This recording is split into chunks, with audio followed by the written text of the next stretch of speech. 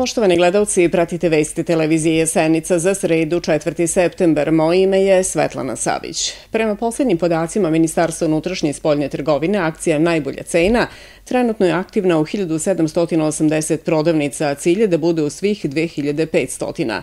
Ministar unutrašnje i spoljne trgovine Tomislav Momirović je rekao da je akcija stigla u pravo vreme kada su građani suočeni sa većim troškovima zbog početka školske godine. On je napomenuo da je ovo akcija koja se naslenja na prethodnu i da država ima iskustva i zna kakve rezultate će ona izazvati. Kako je objasnio, ne samo da će građani imati konkretne uštede, nego će se očekuje da će i drugi trgovci, dobavljači i proizvođači početi da spuštaju cene da bi pratili ovu akciju. U cilju čistijeg i uređenije grada, radnici javnog komunalnog preduzeća Palanka 2020 postavili su nove džubrijere u parku Himko kod osnovne škole Herivan Muker u Palanci.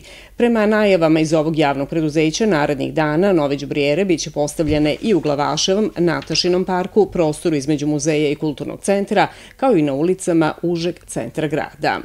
Sa početkom školske 2024-2025. godine pripadnici Ministarstva unutrašnjih poslova nastavljaju aktivnosti u cilju bezbedne zaštite učenika zaposlenih u školama i školskih objekata.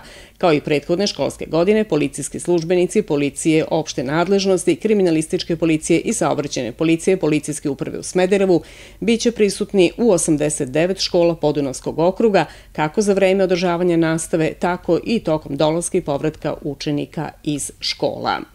Počela je prijava učenika na konkurs za učeničke kredite i stipendije i ona se obavlja preko portala za prijevu za učeničke i studenske stipendije i kredite, saopštilo Ministarstvo prosvete.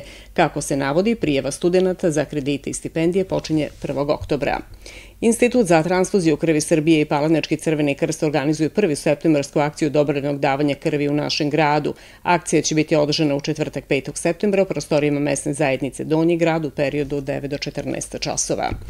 Pod pokroviteljstvom opštine Topole i Ministarstva kulture, organizaciji Kulturnog centra, u toku je 11. festival Duodrame. Sutra, 5. septembra, nastupa Centar za kulturu Tivat, Smart produkcija kao izvršni procedent sa predstavom Oleana, glumci Branislav Lečić i Jovana Krstić. Režija Egon Savin. Predstave se održava u sali Kulturnog centra Topola, počinje u 20 časova.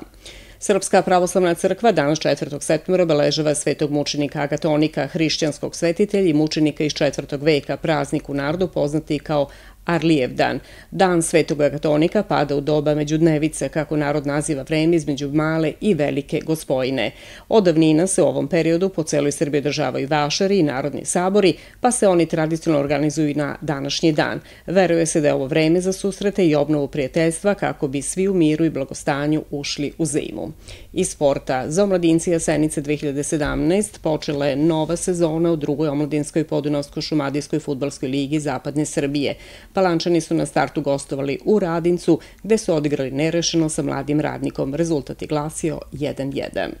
Vreme, sutra sunčano i toplo uz blagi porast dnevne temperature, ali i razvoj oblačnosti. Jutarnja temperatura od 14 do 22, maksimalno 34 do 37 stepeni. Poštovane gledalci, to bi bilo sve u vestima televizije Jesenica. Hvala na pažnju.